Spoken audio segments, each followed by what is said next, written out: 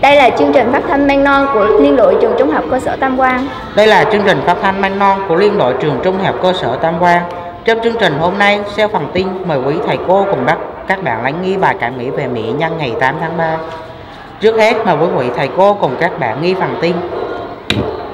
Các bạn thân mến, mới mà đã 13 năm từ khi chúng ta về với ngôi nhà mới, trường Trung học cơ sở Tam Quang nhớ ngày mới về các em như bầy chim non ríu rít quanh thầy cô giáo. Trường học không có ngõ ra vào, mưa xuống là nước ngập cả nửa bánh xe. Sân trường thì như bãi đất đổ không có nổi một bóng cây, nhìn các em tập dưới nắng mà xót xa. ấy vậy mà, nay trường chúng ta đã khác ngày đó rất nhiều. Tường rào cổng ngõ khang trang, đặc biệt là cây xanh béo mát sân trường, các cây bàn, cây bành lanh, cây phượng đã lớn và ra hoa được mấy mùa và đủ chi mát cho các em học sinh ngồi giải lao sau các buổi hẹp hay những buổi sinh hoạt ngoài trời. Coi như ngày hôm nay là sự nỗ lực rất lớn của các thầy cô và công lao chăm sóc của các em học sinh. Mong sao trong thời gian không xa nữa, trường chúng ta có một quang cảnh thật đẹp, thật mát. Nó không phải là ước mơ mà chỉ là sự thật nếu chúng ta quyết tâm và đồng lòng.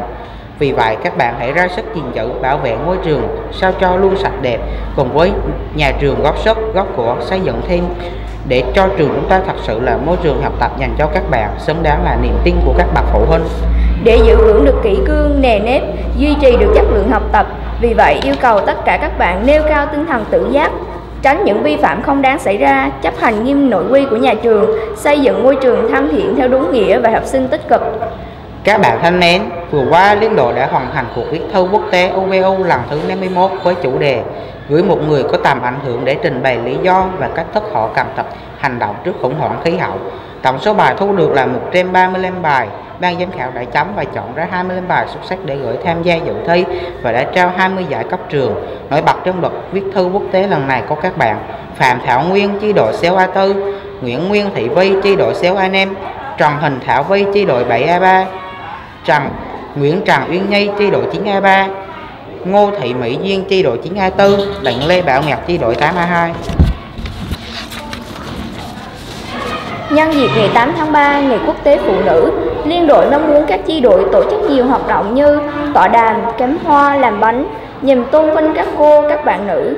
Nhân dịp ngày này, xin chúc các cô, các bạn nữ xinh đẹp, sức khỏe, luôn xứng đáng là những người phụ nữ Việt Nam hiền lành, chịu khó, nhẹ nhàng, ân cần.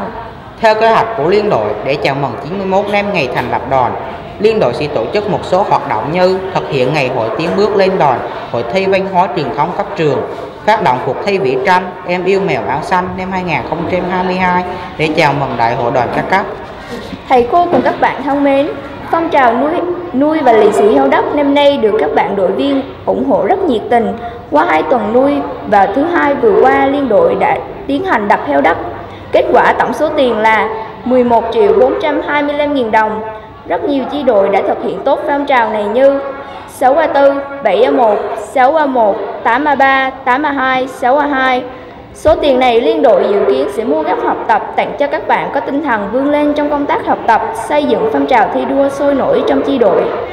Các bạn thân mến, dịch Covid hiện đang vẫn còn diễn biến khá phức tạp trong cộng đồng và ảnh hưởng rất lớn đến sức khỏe của tất cả chúng ta, đặc biệt là những các bạn chưa tiêm vaccine. Vì vậy khuyên các bạn không nên chủ quan, hết sức cẩn thận trong thời gian gần cuối năm học này, thực hiện đúng năm cao quy định, không được tụ tập ra các hàng quán đó là những nơi nguy cơ cao dễ lây dịch bệnh này.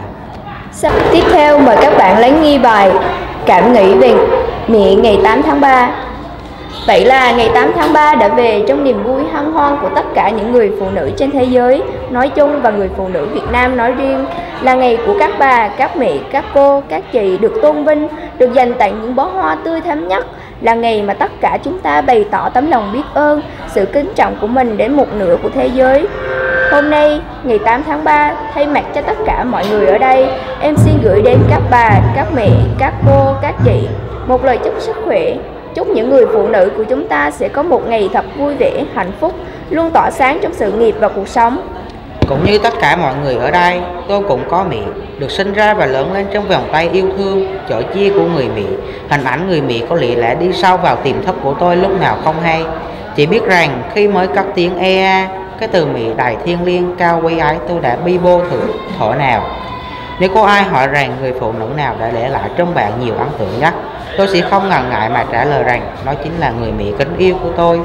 Các bạn có thể thắc mắc rằng Mỹ bạn đẹp lắm nhỉ, Mỹ bạn thành đạt lắm nhỉ. Nhưng không, Mỹ tôi chỉ là một người phụ nữ hết sức bình thường. Mỹ không đẹp vì bề ngoài nhưng lại rất hiền hậu, nét na, luôn hết mật yêu thương chồng con. Mỹ không là Mỹ cũng không là người thành đạt vì nhà nghèo, Mỹ phải nghĩ hẹp từ nhỏ, thấu hiểu nỗi vất vả của người thất hẹp nên lúc nào Mỹ cũng động viên tôi, ráng mà hẹp cho có cái chữ nghe con. Mai này lớn lên làm người có ích cho xã hội, lời nói đó tôi vẫn còn nhớ đến bây giờ. Tôi được lớn lên trong những lời ru ngọt ngào của mẹ, lời dạy bảo ăn cần của cha. Mẹ luôn là người hy sinh thầm lặng cho đàn con ăn học. Mẹ làm việc quần quật để cho con có miếng cơm manh áo. Bất chợt tôi lại nhớ đến câu thơ Những mùa quả mẹ có hái được Vẫn trong vào tay mẹ vun trồng.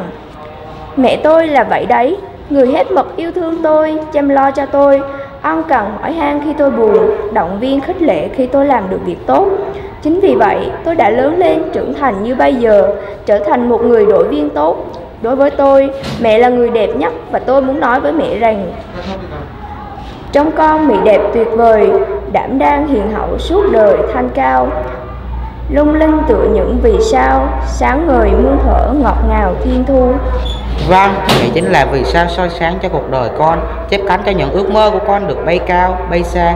Có đôi lúc con tự hỏi rằng nếu một ngày nào đó mẹ mãi mãi rời xa thế giới này thì con sẽ như thế nào?